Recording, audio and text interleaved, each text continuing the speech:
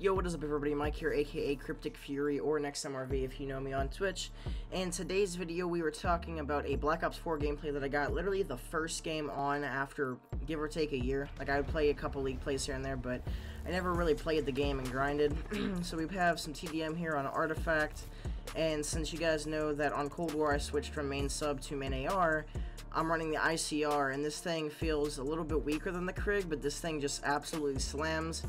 And considering I'm used to the Krig, it feels like I, there's no different, like it feels like I didn't change the gun at all. It feels like the copy and paste, basically, you know. So, that being said, guys, I'm not the best at BO4 anymore because I haven't played it in so long, but I ended up dropping a gunship as well as a 40 and 6 game, that was total. And I absolutely slammed pretty much everybody in this gameplay here. So as always guys, make sure to drop a like on the video, make sure to hit the notification bell, hit that subscribe button as well, and get notified of every time I make, here, make a video here on YouTube.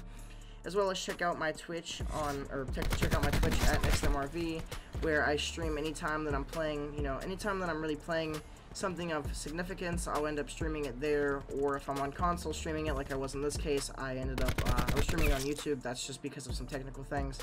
But make sure to check out my Twitch, make sure to uh, check out my Twitter as well, at uh, cryptic underscore fury, where I pretty much uh, tweet anytime I'm live or I'm playing a wage or anything like that. Make sure to check that out. As always, much love, Mike out. Peace. See you later, guys.